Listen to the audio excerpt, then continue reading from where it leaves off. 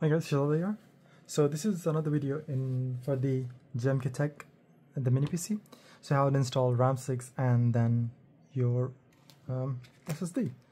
So first thing, whenever you're opening the the screws are easy to come out, but just be mindful because this pin is your fan controller plug, right? So when you're taking it out, you don't pull out this with force, you just gently pull it out and then from one of corner, try to pull it out. So, okay. Okay, let's see. So here at the back, you have the screwdriver. So we're gonna take that out. Okay, this is not sitting in. So give me a second. I'm just gonna find out like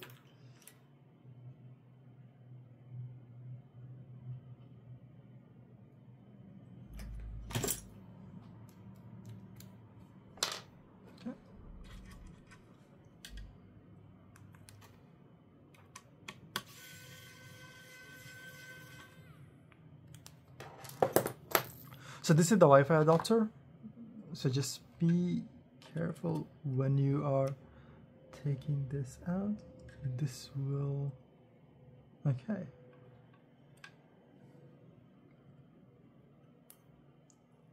And you might have to take this bit out. The reason is as you see it your SSD might not sit in like now it doesn't so yes.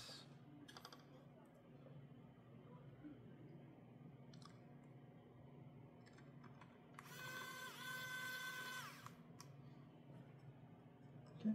You don't need to like just you know bend or do anything. Just make sure it is sitting in properly and then just tie up the screw.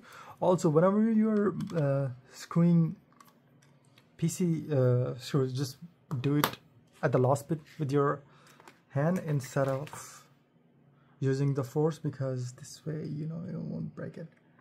Like here. So you press it in and yeah it will clip.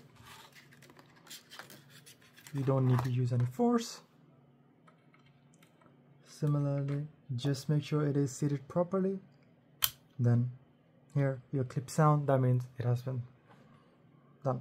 Now I will just install this fan which is I will do off the camera but that's pretty much it. I will need to check though if yeah okay. So uh, the Corsair MP600 Elite you can use this one because apparently with some of the heatsink they are quite bulky if they are coming on the side so they might not like fully sit in because the fan as you can see is like a very like a limited slot space. So just be careful what um, heatsink you're you know buying. And that's about it. That's pretty much it. I will uh, do this installation on this and I'll get back to you. Take care. Have a good day. Bye bye